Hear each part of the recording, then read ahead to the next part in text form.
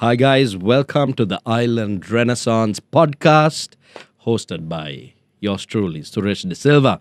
And today we have a fantastic guest who really needs no introduction, but just in case you've been living under a rock or you've been sort of drowned in the sea somewhere in the ocean depths, this is Shanuki De Alwis. She is a reputed icon when it comes to marketing, communications, PR, branding. Uh, she's also legendary when it comes to uh, theater. She started acting when she was four years old. She's played more than 20 leads. She's also an assistant art director, artistic director. She's also a director of choreography. She's a keynote and motivational speaker. She is heavily involved and immersed in animal welfare projects. That's another thing we sort of share in common. I mean, the fact that we love animals, cats and dogs. We'll elaborate more on that later. Uh, she dons a lot of different hats and uh, a lot of different garb, as it were. So, uh, Shanuki, thank you for joining me. introduction. Well, You've done the reading. Done the reading, You've huh? done the reading. I thought Samareva Paranai, but it's very good. I thought might as well Super. do it properly. I feel so good about myself now. I'm glad that you do. So thanks for being here. So what's what's new? um, what that that's such a like off the left field question. What is new? Uh, What is the latest in the latest in the Shanuki's of- yeah. realm and Shanuki's uh, realm of dungeon and Dungeons and. Dragons? um, the dungeon is still there. The dragons are also still there.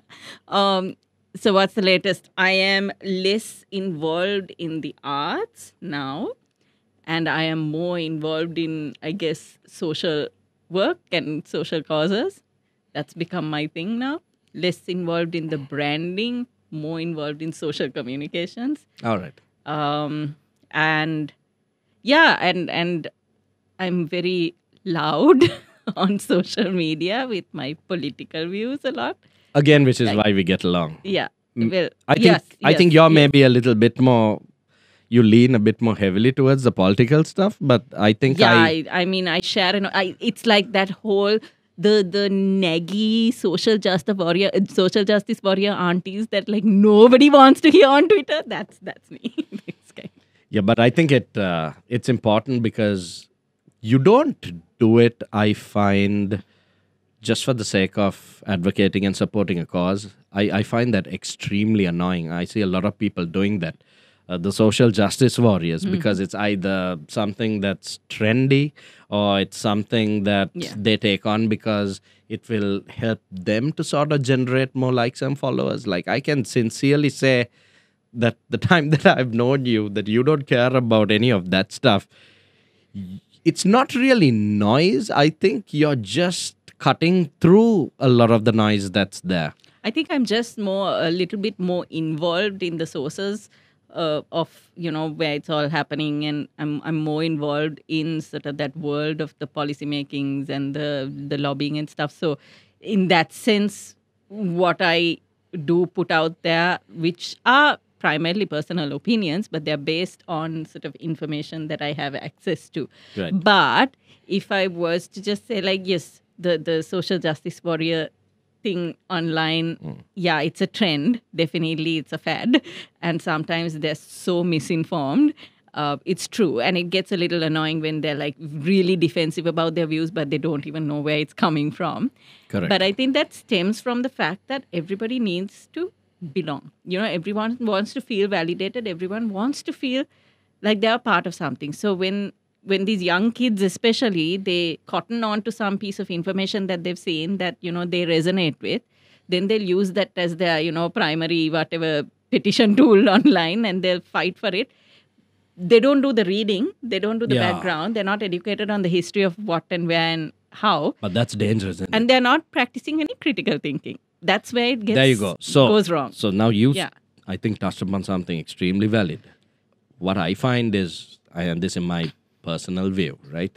Like people when they lack emotional intelligence, they Mm. lack critical thinking, and they lack holistic experience of, like you said, having either empirical research done or having Yeah. proper life experiences that Yeah. have informed Yeah. their opinions and their views on these things. It becomes something uh, completely different. Like even recently on Twitter, uh, remember there was this thing that we both agreed on where uh, we, we agree on quite a lot, I think. We agree on more things than we More disagree. things. Yeah, even if I disagree, then I'll, for once I'll keep quiet because you know I like Suresh. I know Suresh, so I won't get into it on a public space with Suresh. You heard it first on the Island Renaissance podcast. So, like, that I don't know whether that's a qualification or disqualification for me. I like Suresh. once Like, this episode is out, we will find out. mobs will We turn will all the mobs will turn out. Turn up. Uh, no, Or we find this thing where yeah like people are like you know sort of castigating and like there are actual there's actual like like people hunting after each other in terms of attacking people Yeah. online and there, there's a lot of uh, chastisement that's Yeah. going on This there's a lot cancel of culture is like really toxic. it is in honestly. it Yeah. because they i think they're just gonna end up canceling themselves at one point and they do i i think in a way like when it's it's that's why i said that i started off with that people really want to feel like they belong to a thought process. They they're validated when they feel like you know they have other peers you know that that whole group think thing. Right. so they'll latch on to this cancel culture because it's popular you know? It's like the concept of bullies the school bullies right? Yeah. you have people where they are all getting latch on and they'll latch on and they'll cancel each other and suddenly it becomes really cool to you know talk down to somebody and just mock and criticize and all of that. Uh, but eventually what happens is when the rest of the social media space is also watching that behavior it becomes very ugly to see you know at the way people go about it. It's not informed discourse. It's not respectful disagreements. You can agree to disagree. That's true. It's not arguments that are sort of based on fact and evidence. It's just this whole mockery, name calling, personal insults. You go into a different realm. But as you said, they end up canceling themselves because sometimes either they get twisted up in their own arguments that and they hmm. make an idiot of themselves anyway, or people around them who are watching these conversations start to drift away because you don't Drift away. want to you don't want to engage with an individual who's going to be that nasty. That's true. You know so uh, eventually i guess i hope it's a learning and growth phase for this kind of person online where they realize the folly of their ways and they change tact on how they engage. The problem, I think, though, is that social media and the advance of technology, I think these are great things, fantastic things. If we kind of wield these tools hmm. like in a sort of resourceful and a sort of proactive but accountable and diligent and responsible way. But like you said, there are so many who are living lives, living their lives like vicariously through social media that they don't have any accountability. So, like you said, accountability that's they're the just word attacking and Yeah. chasing after Yeah. people and mocking them and rebuking and like like like you said it comes to the point where they start to actually uh, insult and assault people's Yeah. identities uh, Yeah. their families their person And what a lot of people don't know, Suresh, is this is a crime. This is actually a legal crime. It's online violence. It's online. It's it's cyberbullying, or whether it's online gender-based violence, whether it's uh, disinformation, spreading disinformation and misinformation. It is actually criminal. But young people, people on social media in Sri Lanka, a lot of them don't know the Mm. right their rights to protect themselves from it, or they That's don't know the laws to prevent themselves from doing it. that's right Right. So because of that, this continues, and yeah, no accountability is implemented because nobody is really fighting for it. And the minute Hmm. you call it out, and if you're of the age that I am, you're Karen. and Karen is a name that I'm becoming very familiar with these days. Yeah, I I feel that what's happening with a lot of see, so that's that's their go-to when they really have nothing else to sort of say. Yeah. They have nothing of like substance to like. They just want to feel like they're part of something. it- and they feel very good. It, bullying gives you a high.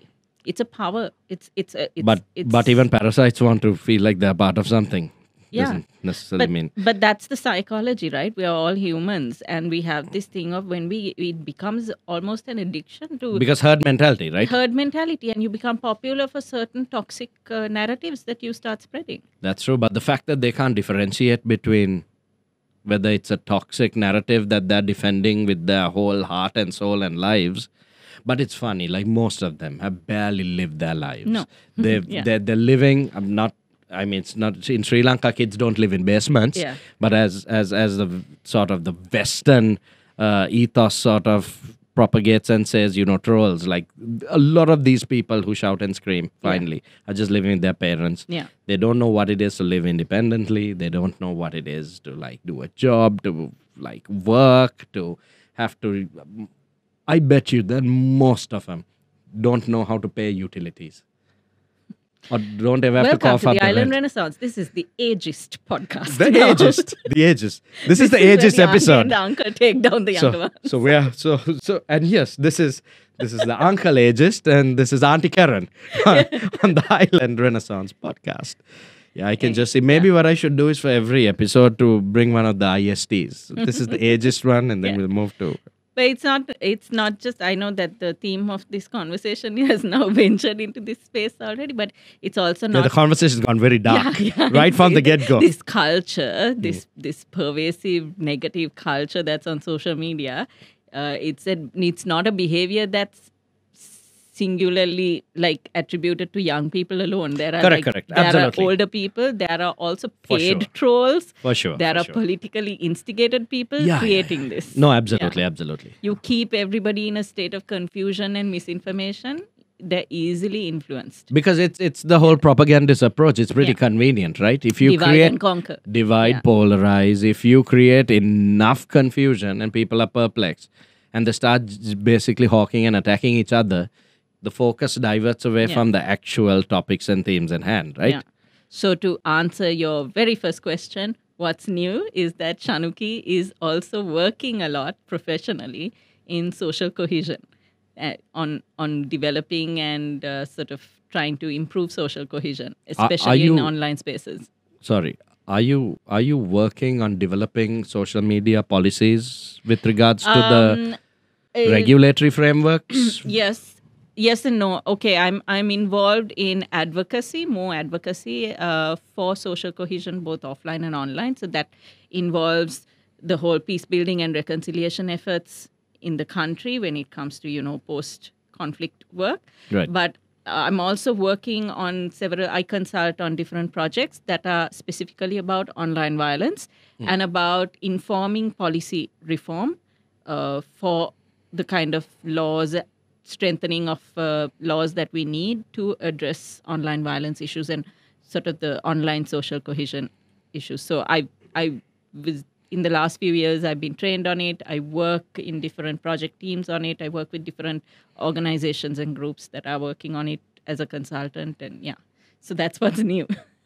No, but that's awesome. That's that's still quite a lot. It doesn't mean that the rest of the stuff that I introduced thee with is uh, irrelevant. I mean, a lot of that is still there. Of yeah, course. it's not all artsy fartsy in Shanuki's world anymore. it, it's it's not just artsy Yeah, fartsy. Yeah, yeah. But okay, so let's uh, lighten up the mood a little bit. Do you remember the first time we met? Yes. So this was in 2013. The first time you met me. Yes. yeah. Okay. Like so. No, so we you, knew you've of been each on other. the media like for Yeah, yeah, yeah. So- donkey's so, years, so right? have you. So we. like- yeah. So correct. So we knew of each other for the longest time, yes. but we officially met uh, as part of the workshop players when the work. Jesus Christ. Jesus Christ, Jesus superstar. Christ. And funnily, we are actually 10 recording. years, huh? We're recording this podcast on Good Friday, which is what that whole thing was set on. whole thing was set on and i was thinking about this this morning it's been a decade since that was staged and uh, the workshop players got the rights from sir andrew lloyd webber Yeah. and tim rice and we staged it here and that was of that scale that Mm. was my first experience being Big involved in the theater. theatres. Yeah, the, like the whole Yeah. gamut of it, everything from the rehearsals to what have you. But that's where we met. But do you remember the first time we had a conversation properly?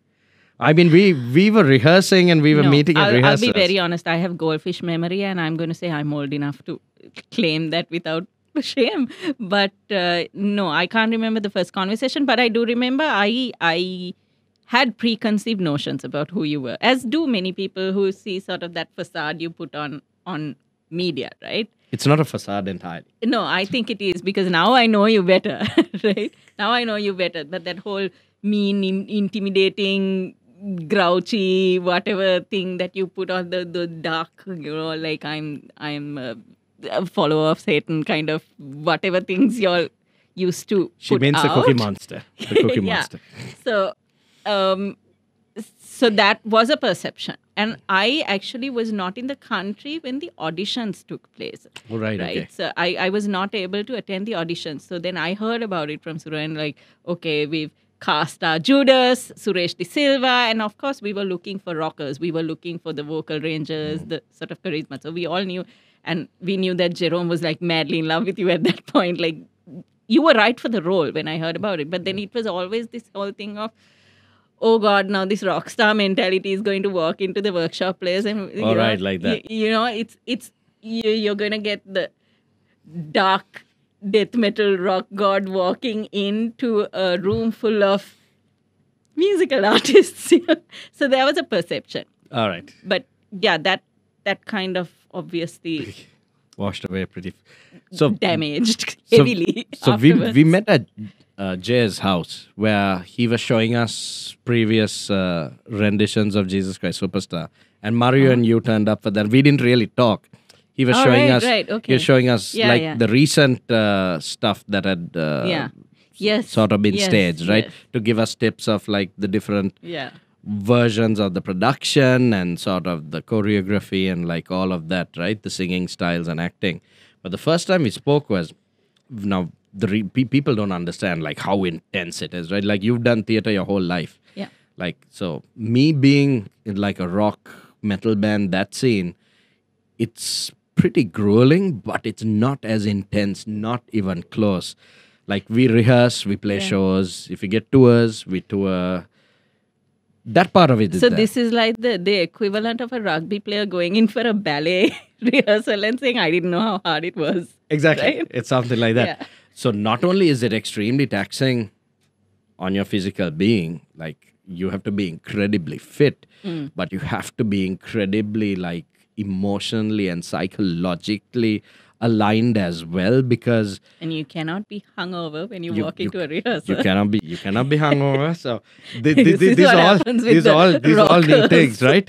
So f- for and like we have so many rehearsals. You have the singing rehearsals, Yeah. and then you have like The sort of the dance acting, choreography dance choreography, and then you have like sort of the acting rehearsals, and then it gets more intense as it gradually goes along.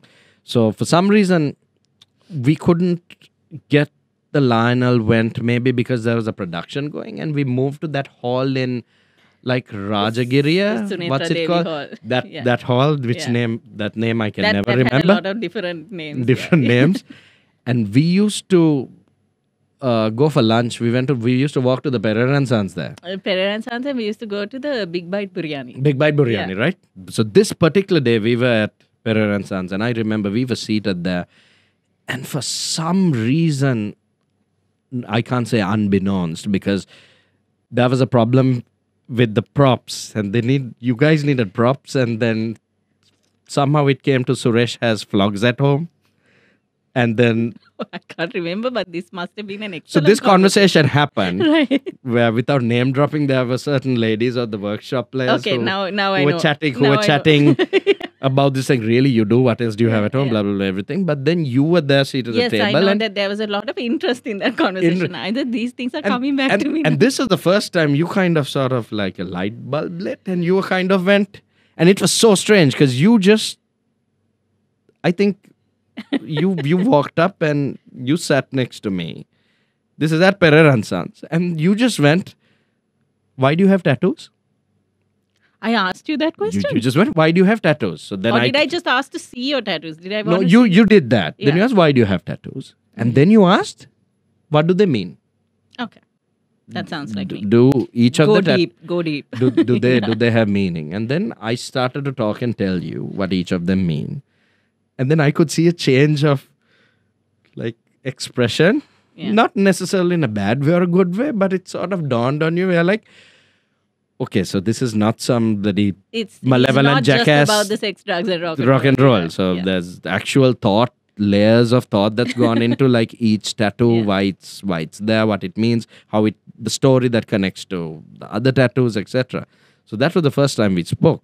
So fast forward, I'll also tell you this this this was an incredible experience for me. The time that we had on top of the rehearsals, I remember myself and Cece, we were the guys from the rock and roll scene yeah. we lacked the theater experience. Yeah. We'd just done a bit of theater in school, right?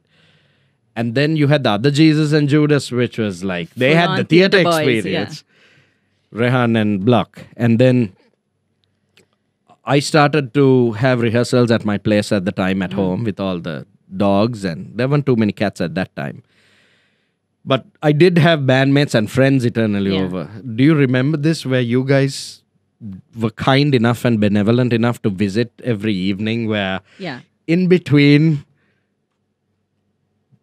bouts of intoxication we were like rehearsing the songs And here's the thing: everybody else was intoxicated except me. not you I, not you I didn't drink. Let's make that known. Yes, right? yes. She No, did- But she did I not. do remember that coming into your house and seeing so many dogs, and then being introduced to Michi, yes right? Who was your number the one legend insanity yes, over there. yes uh, I while everybody else was like drinking and having a good time and all that, I was in your kitchen With the seated pets. and pulling out ticks from Michi. Michio, I think that would have been Marty. Ah no no yeah Michi didn't The like boy, being yeah, Yeah, yeah yeah, and I I remember that that's like I bonded with your dogs a lot She bonded with the and anyone who has so many dogs and cares about his animals at that level can't be a bad guy at all. Yes. I you, think thank that's where I felt like I connect to, to Suresh. that that did the happen. passion he has for the pets. Thank you. Yes. Thank, And- you. and like while the production was going, because it was such a long production, two weeks, it was going. And and the thing is, leading up to the two weeks, you have the like the light and dress rehearsals that happen at the Wendt. So like for the longest time, you're living in the Lionel Wendt, literally living in the Wendt. Literally. You're washing your clothes, you're hanging your clothes there. And you're walking out of there at 8 o'clock in the morning. eight o'clock in the morning. You're back there again in the evening. Uh, but I remember the production went swell. It went. It was really fantastic. I remember we got standing ovations No, it, for was, it was an awesome production. other than the Awesome first. Uh, the opening night, for some reason, where two or three grouchy people did not get up. Every other night was a standing ovation. Yeah. Even uh, when we had the uh, the matinee, Mm. and I remember I got sick. Not just me. There was a flu going around because it happens in such a large cast. And I remember Cece got sick. I got sick, and I'll never forget how you sort of v- just ad hoc visited one afternoon and you brought soup. Do you remember this? Yeah, yeah. That that absolutely moved me. That was mind blowing. So, like, it, at the same time, you had a reputation that preceded you also. I still as, do. As this, not that one. You you have a reputation that sort of transcends the reputation. And Several reputations for all my multiple personalities. yes, yes, yes. So it, it's something that's like ever evolving. So like even I was aware, like to be very honest with you, like we knew in school, we knew of like, I don't mean this in a bad way, Hmm. the iconic Shanuki Akki. We we we oh all Oh God. we we all that knew make me feel old at all right now. from like from theater. We we knew that Yeah. like from Shakespeare and like all of that stuff. And then I I had heard of you from, I mean, advertising circles and stuff like that, right? That you were involved with like branding and communications and PR and all of that.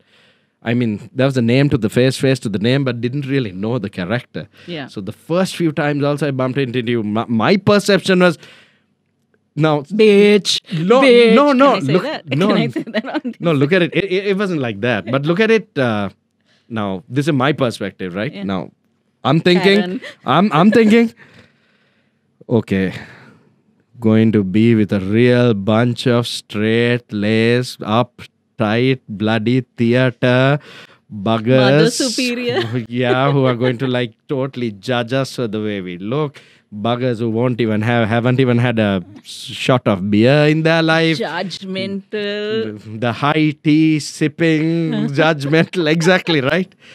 And that whole thing also you guys completely obliterated. It I don't think I have really bonded with anyone the way I have and I can say this, I've done some other theater productions also, and I'm not throwing shade at anyone. With the cast, yeah.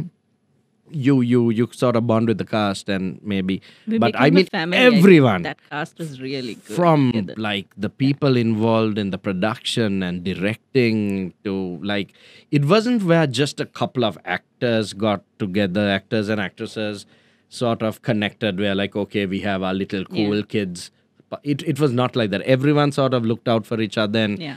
it was the most beautiful thing for a while and i like to think that that bond is something that i think it has lasted with many of us. I mean Yeah. we still keep in touch. But i i also understand it's very different because like i said you guys have done so many productions after. So for me that was like a benchmark milestone uh, lead role come true. Like when you grow up as a kid who's like into rock and roll like you see jesus christ superstar and of course like But that is the iconic rock and roll. the epitome it's a Part to penultimate play, the right? apex of Like nobody remembers Jesus. It's always Jesus. Yeah. Jesus Jesus. Jesus Jesus, which is you know from Jesus Christ Superstar. Jesus Oh God. So that's an interesting uh, slip of the tongue. so like uh, yeah, because I mean the singing and the acting and like it's got Yeah. it's got everything. It's intense. It's it's it's it's it's melancholic, but it's beautiful. It's uh, it's all those things that like for us in stigmata from the get-go that we wanted to encapsulate in the music of what we do Yeah. though though stylistically we are a little bit more i'd say abrasive at times right but that was the for us it was like the starting point like we heard like jesus christ superstar and like we were like wow like if we could ever do this so for me like vocally speaking like Gethsemane was like that song. If you have the range, you have to be able to sing. But like you said, the part of Judas, he had the coolest songs and he had and the think he story the most amount of energy to get through that show. yeah, sure. but He had like some tough And, stuff the and fun stuff and Emotional, yeah, it was properly an emotional roller traumatic coaster. arcs that you have to take. Yeah. I think that that I think that production had traumatic arcs. I think that production informed some of our lives after that that had traumatic arcs Yeah. uh, for the longest time. ha ha. But uh, yeah, so I think we we were able to sort of really all those misconstrued notions that we had, and that's interesting because we're talking about completely two uh, extremes of the spectrum yeah. right? So, tell us about uh, because this is something that's very close and dear to my heart as well. The pets. How many do you have? What are their names? How Oh, do boy. you manage? because you tend to travel around the world often for Yeah. multiple projects. Yes. Um, so multiple pets has always been something with me. I've never ever in one day had just one pet. Right? I've always been surrounded by different things. Um, so yeah, right now, um, so I, there are twelve cats.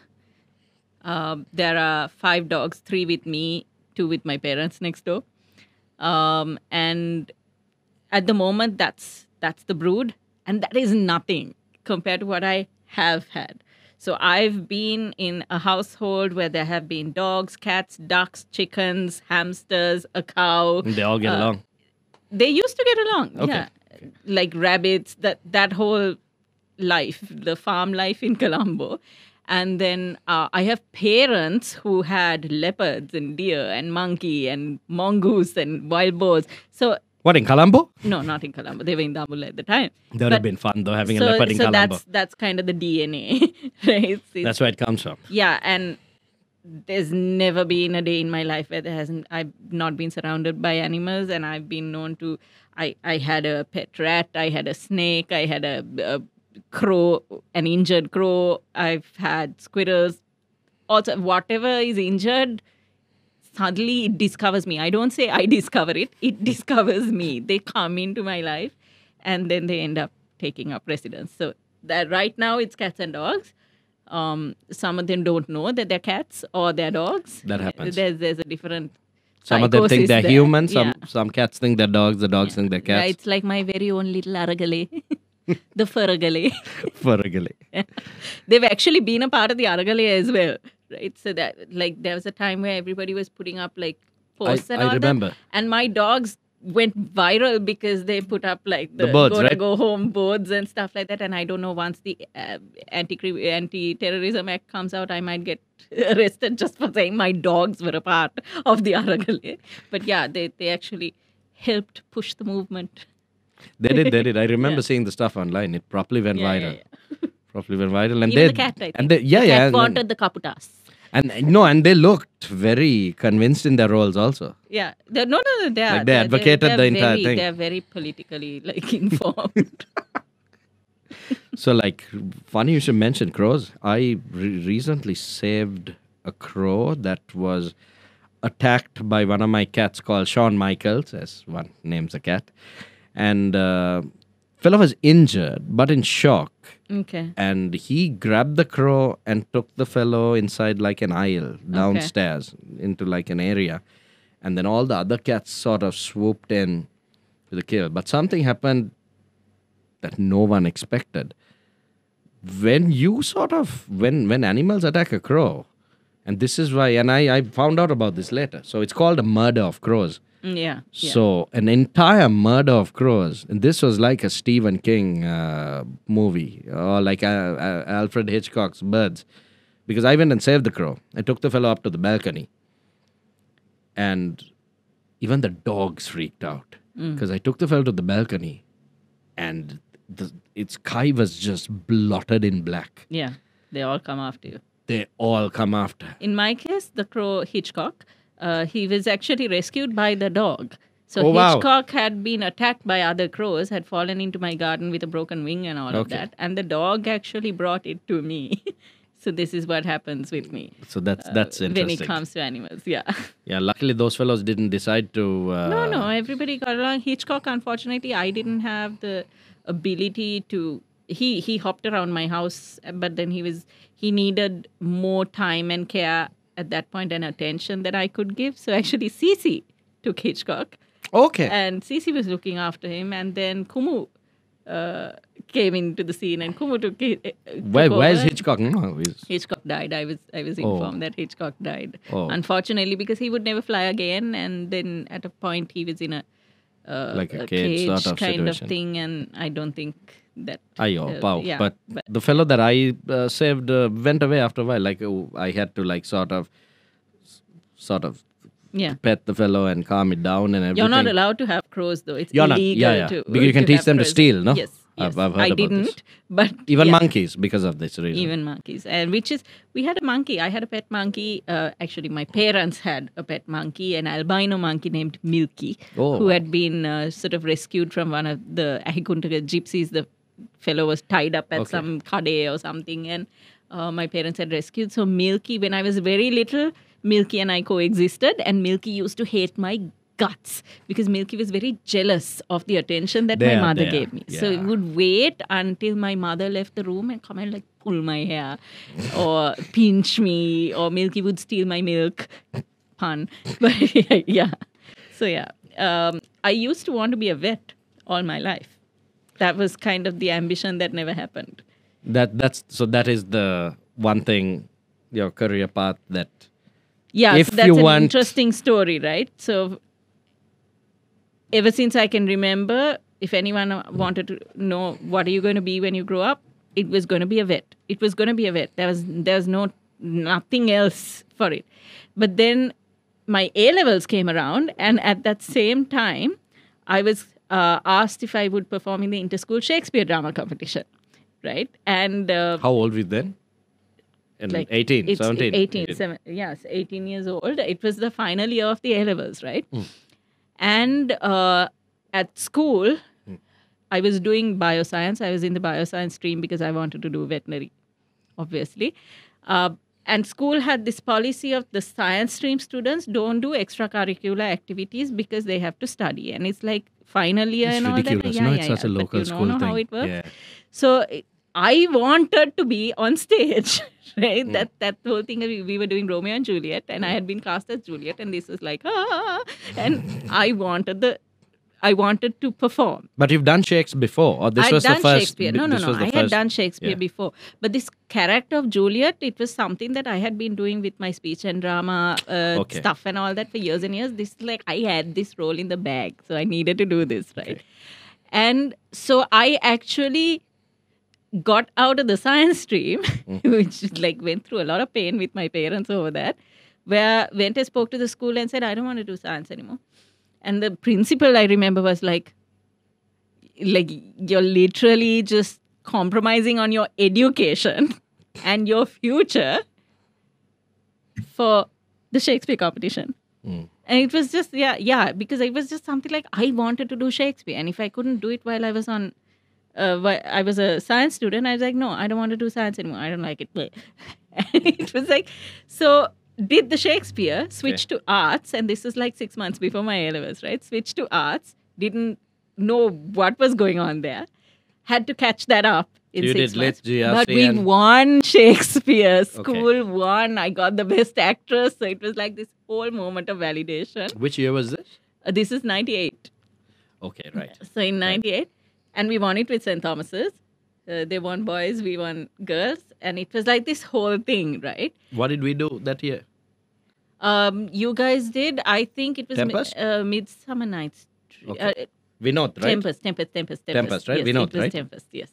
So basically, that happened. Hmm. Then it was like, ha ha ha, Shakespeare trophy up there, and oh, like, oh God, now what happens to my future, right? Because I'm, I am no longer able to get into veterinary school because I am not doing A-level science. What did you do for Uh, arts? What were the subjects? So I did econ and Lit? Greek and Roman civilization And and, English lit. So it So became same. it Yeah, was yeah. like super easy also stuff that you know I had been reading books since I was two. So this was it was easier for me to pick up because the Greek and Roman was also a passion of mine, and so I didn't feel like I was studying. But then the whole thing of my entire pathway, my life's journey just switched like overnight.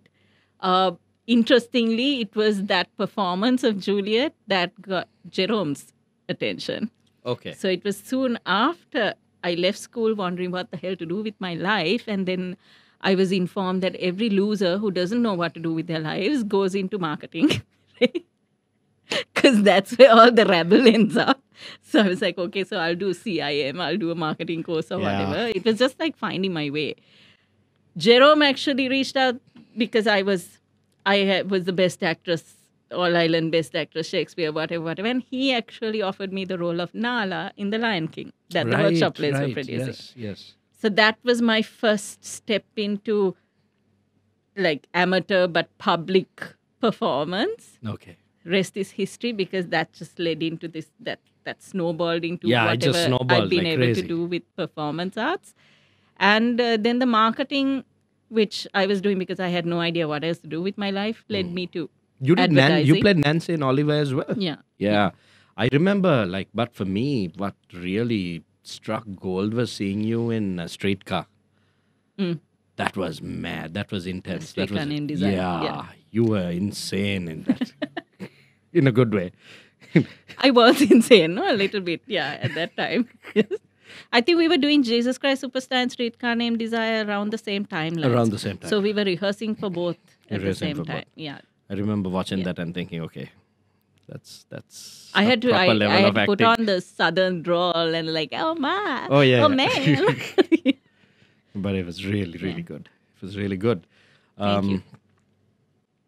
so i'm i mean this because i mean you are a multidisciplinary sort of I have a entity low boredom threshold. there's That's how I there's so many things to like question and like ask this you. is because Suresh, I tell everybody this. Like everybody's like, "How do you do this, this, this, this, this, this?" this? I'm like, uh, a, I have a low boredom threshold. B, I have mental health issues, which means I spiral into severe depression and If you don't do anxiety something. if I'm not distracted. Busy all the time. If I'm not busy, the busy is what keeps me away from dealing with my realities, right? So these two combined means I'm always trying to do something new, and I have no idea what I want to be when I grow up. That that's always been a thing. So it's like try anything once, whatever suits me, whatever suits, and I- I'm in a I understand that I'm in a privileged place where I have the independence to do that. Like Right. I like to do this today, I'll do it today. So not a lot of people and not a lot of girls in Sri Lanka have that opportunity to just decide for themselves and you know try new things and not have to go down these conventional norms of expectations that families have with you. So I've had that privilege and that's given me the ability to try different things. but also you worked for it. It's I not have, no. it's not just been thrust into a rabbit hole where For sure. Because I'm passionate about everything that I get into. I'm doing everything by choice. That's the difference. I'm not doing something because I don't want to do it or somebody else made me do it. I make choices for myself in certain areas of my life, right? Certain areas That's I have true. like no control over. But so these choices may mean that whatever work I do, it's because I want to do it. I love to do it. I enjoy doing it. And so then if you love something, you'll get good at it because you want to get good at it. You want to be your best at it. 100%. And I think that's what helps me. Uh, I don't know if I am good at it, but I do it to the best of my abilities because I really want to. No, but they're not. These are not disciplines that are far removed or segregated from each other. No, No. we're talking about uh, a lot of disciplines. Yes, true. We're talking about you've been multifaceted, but also they've sort of within. It's smart. You played it smart because it's within the same orbit. Also, Maybe, maybe. I'm not saying you like- played it safe. Yeah, not but maybe two different maybe it's also because I'm drawn to those disciplines, Correct, right? correct. And I know, okay, I did theater. Theater is like a passion. Theater's made me good at certain things with the whole faking the charisma, confidence, presentation skills, all of that. So that helps. And then you have me. the advertising experience as well. in, yeah, Presentations, pitching, pictures. presentations. Theater also means you're exposed to a lot of creative thinking, a lot and of working with a lot of different people creating, diversity you right know, creating visual spectacles, which helps with when you're writing, script writing, you know, creating film uh, ideas.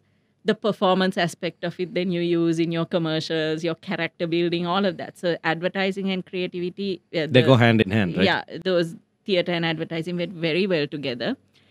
And then now that I am very immersed in cause based work, that helps immensely because I'm able to use theater and creative to create communications for causes I care about, to try and influence people to work with communities, to talk to them, to train. I do mentoring and training and stuff.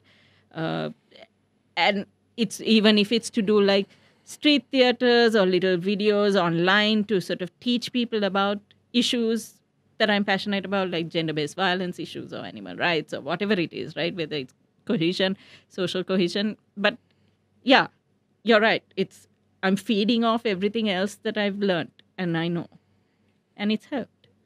no for sure I- i think you need to do workshops like not going and being a keynote speaker other people's workshops i think you no, but to I do workshops. like I- your like your own thingamajiggy to like I don't know. inspire It's not my, young women But I do. So I am sort of as a, as a consultant. I do get sort of uh, signed up by corporates and NGOs and various groups to go and work with communities. So I work Right. with women on things like sexual harassment and gender based violence, and work with men also on sort of informing them. You know, teaching people their rights, training the police. I've done that. You know, so there's I work with kids when we talk do things on mental health and uh, again sexual uh, sexual education. Funnily enough, I've done like sex head workshops like me. no i can totally see you doing that No, with the dungeon and the dragons and The- yeah, Yeah. no. There's a lot of things that I had to learn before I could do those things. You realize after this interview, we've dropped like as keywords, someone does a keyword search, Yeah. the word dungeon and like There dragons so many times. Dragons and no sex. For someone who just like sees the clips without context, Yeah, you're probably gonna get a lot more DMs like after after probably. you. So Shanuki actually invited uh, yours truly and my wife on her awesome talk show. If you haven't checked it out, you guys should check it out. It's called the Shh Talk Show. Probably the most controversial uh, show, I think, in this country for good reason. I mean, it deals with a lot of topics and themes that need to be discussed. And pardon my lingo, I, I don't mean this in a patriarchal sense, but she's been the only one with the balls to do this here. And um so we won the show, and it was yeah. discussing It was on, on a specific lifestyle that you follow, specific lifestyle that uh, a specific I follow. lifestyle. And And then what happened, dear viewer, was that every person who watched that episode assumed that I was also into that lifestyle. I was just merely the moderator of that conversation part. My goodness, didn't my tell, DMs tell, tell our blow up? dear, tell our dear Do you want to viewers. talk about it uh, tell our dear viewers some of the requests that you got from strangers. Okay, so do you want to talk about what that show was about? Yeah, we can. this talk is your about- podcast. That's fine. Okay, so Yeah. no holds barred. No right? So- holds barred. So uh, we were talking about kinks, sexual fetishes, and kinks, and uh, because uh, this is something that Suresh is familiar with more than I am, but uh, So she says, folks. So she says. yeah, I, I do say, and it's kind of apparent. But um, yeah, so we were talking about things like BDSM and that whole lifestyle. And of course, immediately people thought this is now Shanuki is doing this episode because Shanuki is into this. And therefore, Shanuki started to this day. This show was shot like what, three years ago? Yeah. Three years ago. years ago. So three years hence, I'm still getting messages on my Instagram and Facebook about you know asking me if I can be uh, their dominatrix, asking me if I can be a mistress, asking me if I'm looking for slaves. Then can I be Foot a rubs? slave? They're offering foot rubs, Yeah, they're- they're offering massages. all sorts of things, right? Foot rub would be at the bottom of that list. Didn't someone offer to do shopping for you? Your grocery runs and No, actually, what happened was there was a person who reached out, complete stranger, saying that, uh, "Can I be your slave?" And for me, with my limited understanding of that word, I honestly thought he was asking for no paid work in my house. Okay. So I was like, no, this is not right. People need to be paid for their labor. so you offered to pay for. Yeah. And I was like, no, you know, it's I'm not looking for a domestic help. But even if I got one, and why is uh. this man like sending me DMs in English asking me if he can, you know, do things for me? And then that is where that conversation kind of progressed into that's not what I meant. this is like when I asked if I can be your slave, and I'm like, ah, ah, no, thank you, no. But you realize this was a can of worms that you entirely opened, right? Yeah, yeah, it Yeah, was all yeah. my doing. But then, yeah, so I still get those messages now. They're less frequent because I, I think you are like, look, look, buddy, I am not into the kinky lifestyle, but here's Suresh's number.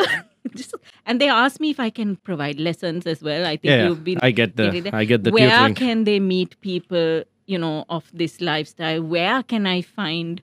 uh, you know, BDSM practitioners, and I'm like, dude, I don't know. Call Suresh. I Yeah, don't, don't- know. Yeah, I'd I'd appreciate if you not pass my contacts to these people as well. I, I get the oddball requests also once in a way, Yeah. right? So looking forward to you, sort of like like we discussed before. So the talk show is happening. talk show uh, is happening. The talk show has taken a little hiatus because Shanuki De Alwis has been extremely busy or sometimes just not in the mood to sit and edit. So there's a lot of work that has not been done on my part. But yes, the talk show is happening and the episodes have become less frequent. Unfortunately, I need to push that more. yeah, but looking forward to it. it's Thank going to be awesome. So we're down to what the last five minutes, ten minutes. Yeah. So tell me when we're down to the last five, we'll do the rapid fire, right? But you just held the five now. Is it? Five? No, no. I, I, I Yeah. we have 10 minutes. We have 10 minutes, yeah. So, this is something I wanted to ask you for some time. Mm. Have you not been interested in because I know. Listen, you you sing amazingly, you dance amazingly, you act brilliantly. Not anymore. As in acting, Well- yes, but the singing and dancing, no. But but little little difficult now like older fatter all of that no it's a fact i'm not saying Exact- it as a bad thing i'm just saying i can't do what i used to be able to do you ask me to lift a leg more than like say 25 degrees now it hurts but do you have you worked on say your own original uh, script? Was was that something that was in the pipeline where you wanted to? i did it in school i used to write scripts in school and direct them and I, I was pretty good at it but i don't know somehow the original scripts part came into my advertising work because i started off as a copywriter and you know the creative ads that i used to create. So in a way it channeled itself into that. I have done original songwriting. I i did a little song during covid time. I did this thing about sri lanka needing to get Yes. along and stuff. Yeah where i sort of it was this animated music video called sri lanka machang. It's on uh, youtube. Uh, so i do little creative things like that as and when i feel like it i do uh, script write little not that i write but i create little original um, i would say uh, like videos with kapila rasnayaka we do this Sinhala based uh, videos to talk about certain social Issues and So, like, we character play and we do these things. So, in a way, that's kind of where the originality goes. Mm. Um, but no, I've never felt compelled to write a full play or produce something of my own. It's, it's I've been too lazy to think about things like that. Lazy or too busy, actually. Maybe, maybe, but it's not something that I want to do. That I'm happy to act the role that somebody else has written. Yeah. Yeah, Machan. So now you're not single anymore, no? No. Ah, who told you? So how's how's that going? That's going uh, well. It's a long distance relationship. Oh wow. So uh, The it could be better in that sense, but no, but it's it's wonderful because I've had let's put it this way, I have had a lot of learning in the past when it comes to relationships. And in the process of those, because there have been bad experiences, good experiences, but uh, I've never I I went through relationships that taught me who I was and what my boundaries are. Mm. And those are things that I I'd say there's nothing called failure. It's always learning, right? yeah, true. So there were lots of lessons. Sometimes there were hard lessons to learn. Yeah. And I'm glad that I'm in a relationship now at a stage of my life where, Where I'm you can appreciate it much more. more confident of what works for me. I'm not finding out. And then I've been able to connect with somebody who's on an equal level of emotional intelligence, which I thought was such an anomaly, especially in this part of the world. Uh, because at a point you get frustrated when you when you come to an age like I'm when you're middle aged, when you're a female in this part of the world, when you're in this repressed, restricted kind of attitude in society. Uh, with men especially, there are certain expectations that you you just get sick of it, right? Like you're only seen as one thing, or as a feminist, you're constantly fighting against patriarchal norms that men have been brought up with. And I'm so glad that I've met somebody who's just blown my mind in terms of being a bigger feminist than I am sometimes, which is amazing. Somebody who's so supportive and on an equal, I think. I'd like to say the intellectual compatibility that that that unicorn that you can sit and talk to for six hours without feeling the time going by. So, in that sense, it's a wonderful relationship. It's very emotionally and intelle- intellectually fulfilling.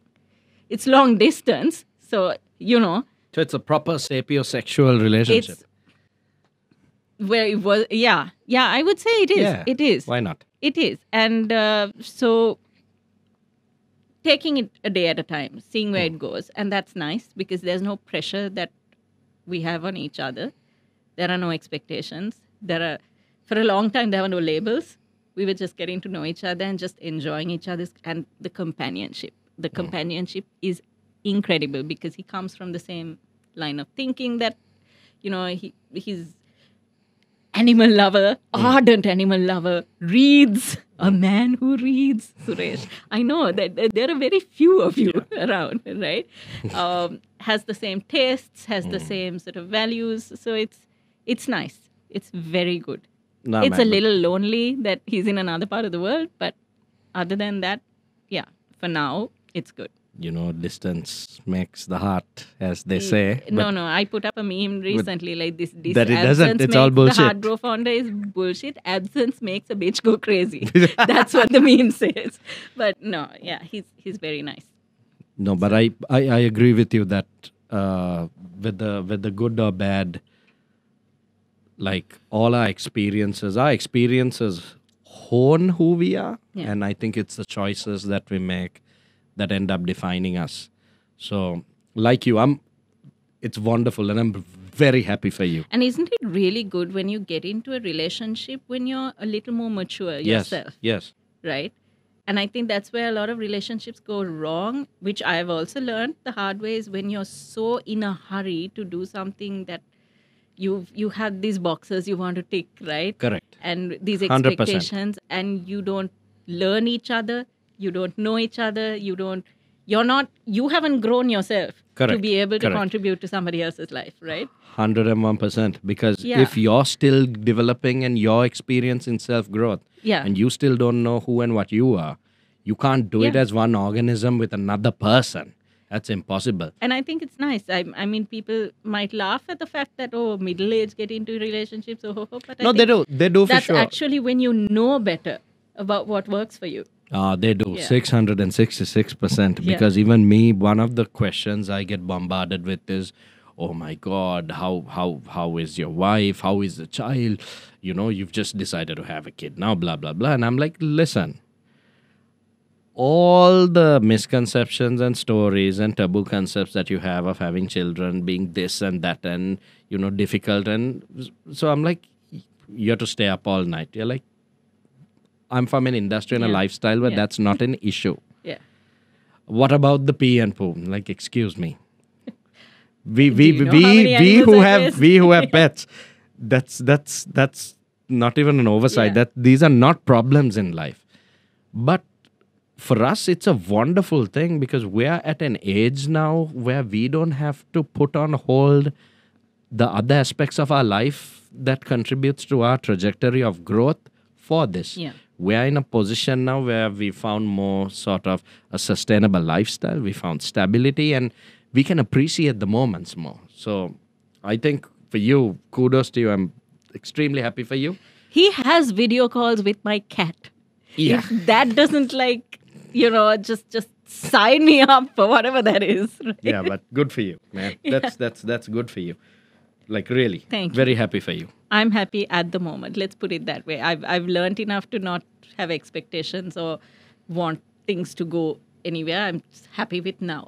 As Yeah. long as now is good, I'm good. Whatever happens, happens. Yeah, like you know, as they say, stop. It's a very stoic. I'm very heavy into stoic philosophy, so like Yeah. you know, it, they say, stop counting your moments and instead make every moment count. Yeah.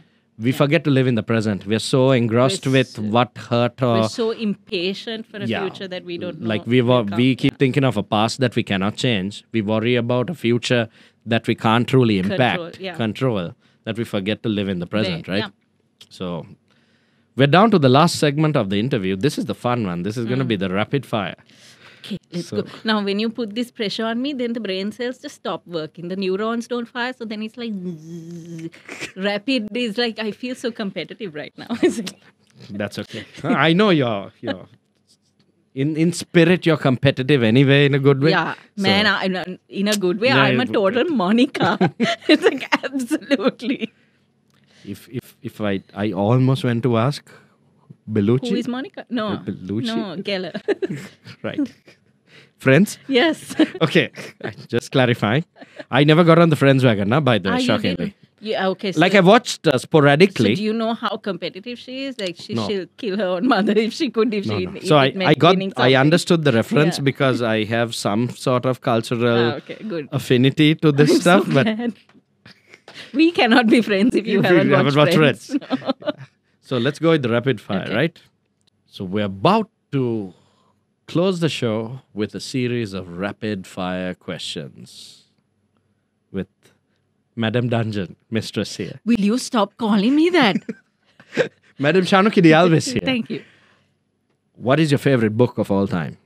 Oh my God, I don't have one. No, I cannot. Have you? I I collect I books. know. have a library. I can't tell you what my favorite book is. can I? But let's just say that library burns down. You can pick say, only one book. Okay, it's called Act of God. It's by a, an investigative novelist called Graham Phillips, and he actually writes about he investigates and discovers the truth behind certain biblical events. Oh wow, okay. Yeah, and it's really good. He's written a lot of other things as well, but Act of God is about the time of Moses. He explains how all, you know, those things that we read in the Bible that go, yeah, right? Uh, he explains how it could have actually happened from a scientific perspective. Nice. very good. Nice. What's your favorite movie of all time? First Knight with Sean Connery and Richard Gere. Richard Gere and Julia. uh, Isabella. Julia uh, Ormond? Julia Ormond, isn't it? First Knight, yeah. Where where uh, uh, it's Richard King Gere is Lancelot. King Arthur. Richard Lancelot. is Yeah, yeah, yeah. Lancelot, So Sean that's, is- That's, that, that simpering little girl in me who's like, ah, yeah. And Sean That's a great Connery. movie. Sean Connery is one of my favorites. As Arthur. No, that was a great movie. I love it. Super movie. That was a good pick. What's your favorite food to eat?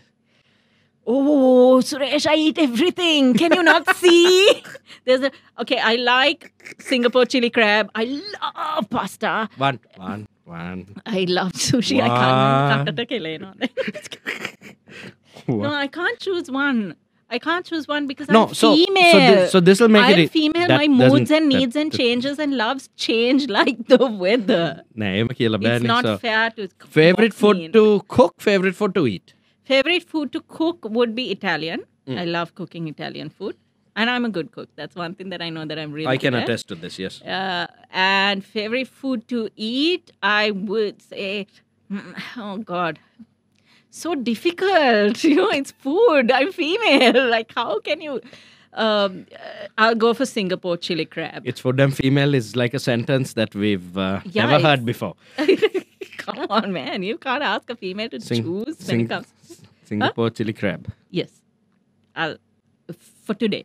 Yes. for today. For today, that's the favorite food. What's your favorite song of all time? Rise up.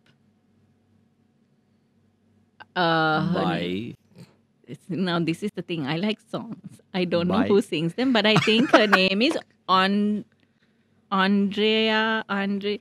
Wait, Andrea? Andrea. no, no. I'll rise up, rise like the day of rise up. Yeah, that one. Yeah, I'm like just like I'm, I'm like just blank here. You just went Andra right- Day. Andra Day. Okay, It's called Andra Day. I'm going to have to check that out. I'll play it for you after we tape. Yeah. What's your favorite theater production of all time? Hmm. Oh, the ones that I've been a part of, or Both what I've you've watched? been a part of and the ones that you've watched. So the ones that I've been a part of, my favorite, my favorite performance has been Oliver in in Oliver. I think that was kind of something that I felt really good about my role. Hmm. Uh, but other than that, Jesus Christ Superstar actually, because that was the first time I wasn't playing a lead role. I was part of the ensemble, so that was my first ensemble experience, and it was the best thing ever. Really? Yeah, it was the best thing ever because everybody else has to deal with the stress, and we just have the fun. So yeah, um, the best product, the my favorite production that I watched is Book of Mormon, uh, which I watched on the West End.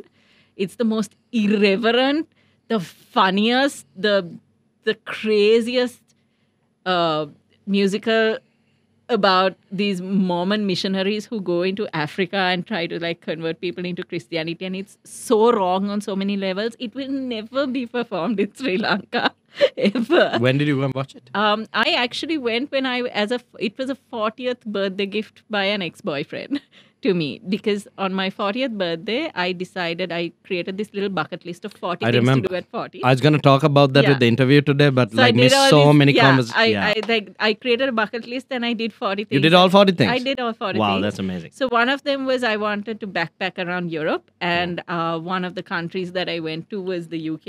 And my ex actually is a British, and he was living there at the time.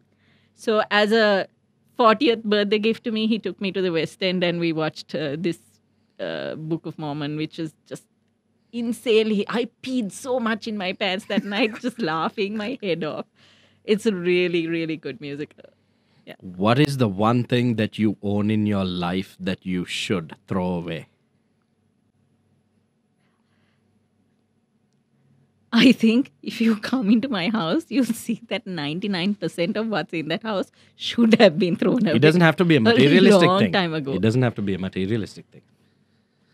What is the one thing that you have held on to Oh, okay. that you can do without? Maybe, if you had a choice. Uh, Can be a material thing also. very controversial. It's not going to make some people happy, but I think I need to stop allowing myself to be emotionally guilted by my parents over everything that I do and say. Like, Hmm. I think the the hold that parents have on you, The parental gaslighting. the gaslighting, the emotional blackmail. The, They are gonna. They, They are, don't. They're they probably don't- gonna see this clip. yeah, yeah, it. they will. My mother is an ardent follower of everything I do, and she's like, but no, I think that's the one thing is the the inability with all the boundaries that I'm able to set with everything else in my ecosystem. This is who I am. This is what I will tolerate. This is what I will not tolerate. I've never been able to do that with my parents. So there, there is a kind of a unspoken hold, and I think that's something that a lot of Sri Lankans can uh, relate to. Mm. But that's the one thing I can do without is not having to make a decision, wondering what will my parents think. That's know? a very profound, but It's good. Good it's answer. profound, but I but I believe in one way it has and a protected truism, me. I think, for a lot of yeah, people. in right? one way it has protected me from making mistakes that maybe you know I would have made and not been in the place I am today. In another, I think to a large extent it's held me back. It's it's been a restriction, and that's that's a mental thing. I'll I'll say something a little deeper because there is this saying that you know an elephant. Mm. An elephant is a wild animal, right? And elephants are not meant for captivity. We shouldn't, but we do capture them. And when you when you break the spirit of an elephant, hmm. right? You can feed it, you can love it, you can treat it like the best thing on earth. But an elephant needs Is meant to be in the is wild. meant to be in the wild. Uh, but we we capture them, then hmm. we chain them. Hmm. You chain their legs, right? So i- with any animal that you kind of tame or domesticate an animal, you keep them on a leash, you keep them on a chain or whatever.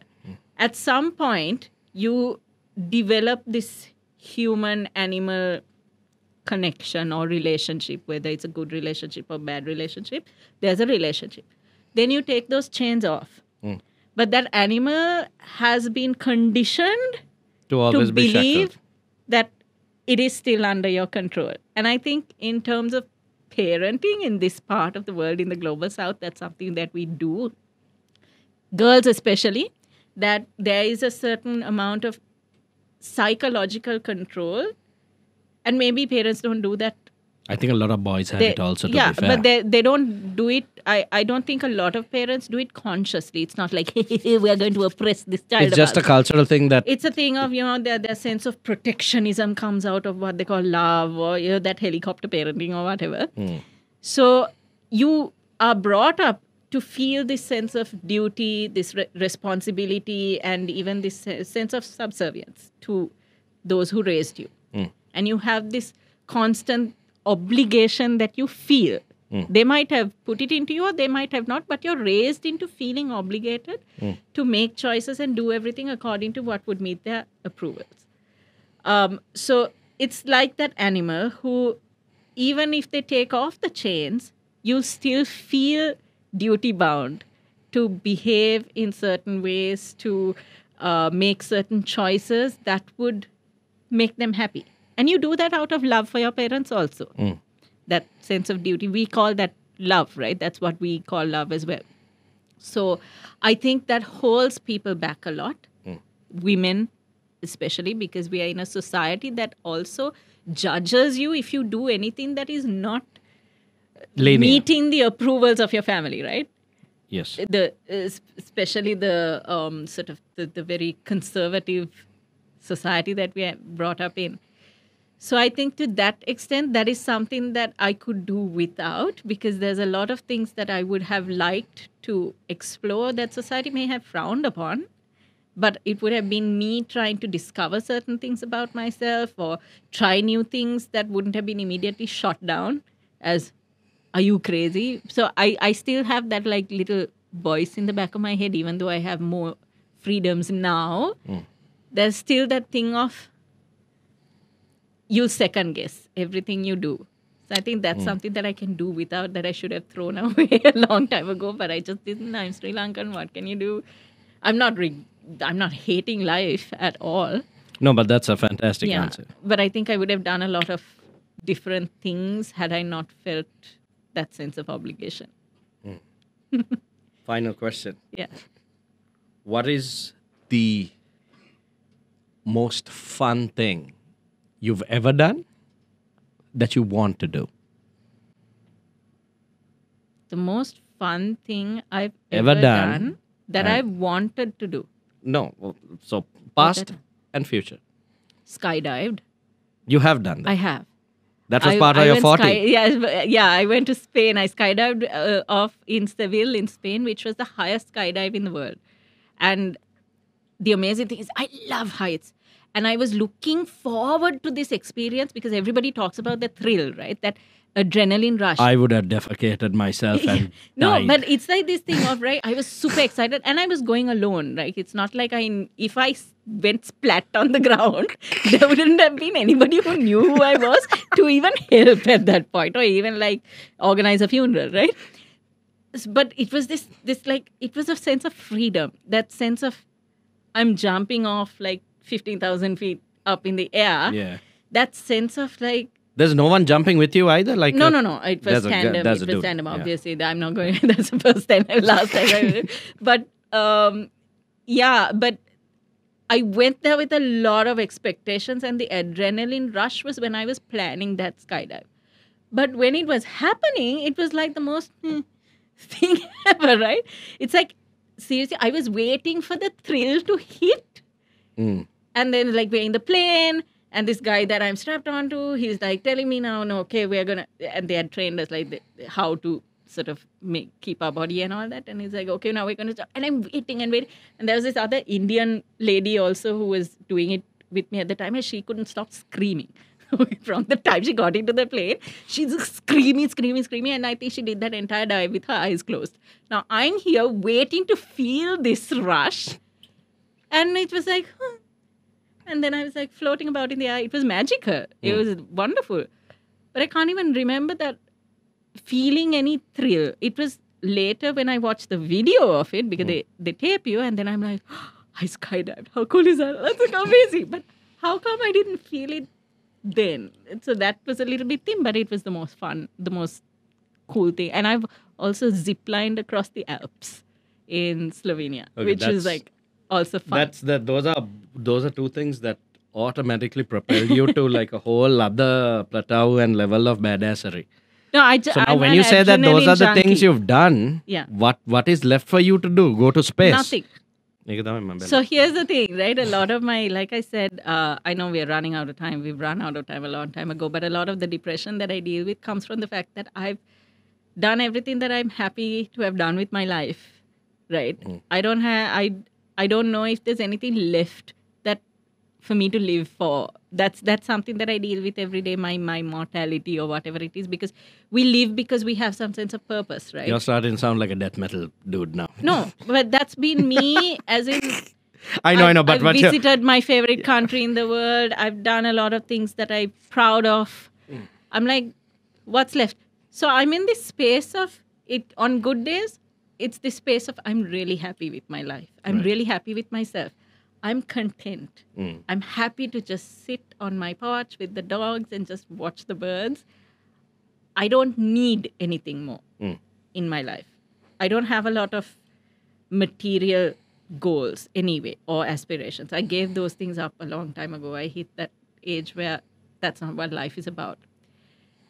I don't have anything that I am actively living for except that duty to be there for your loved ones, to take care of them, and you don't want to put them in a bad place if you leave the earth, right? You Mm-hmm. you don't want you don't want them to be alone. You want to continue to take care of those you care about. That will be the only thing that, in that sense. Mm. Um, so I'm really happy, but on bad days, it's about what do I have le- left to look forward to? That can be there. So those are things that mm, constant um, dance The yin yang. between the yin and the yang. Yeah. Yeah, but Was awesome. that the question? Did I It was you did you did. My God, thank you. So thank you so much, Shanuki, for joining me. I Thank you think we me. have a, I think a pretty riveting and uh, obscure. You know too much. You know too much. No, you don't know anything. It's going to be an awesome, awesome podcast episode. Thank you for being here. Thank you to the iFilm crew and team. And uh, I can't wait to see this. I think it's going to raise a lot of eyebrows and not just eyebrows. So Ew, Suresh. you you took that somewhere else. You took that somewhere what else. I meant toes, fingers, Of and course, fingers at all. Because people just go "Huh," when they want something. Please. Of course they do. Of course they do.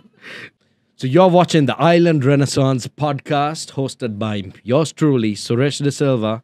Make sure you like and follow us on YouTube, Facebook, Instagram. Please hit that notification bell and subscribe to all the pages as well. Thank you.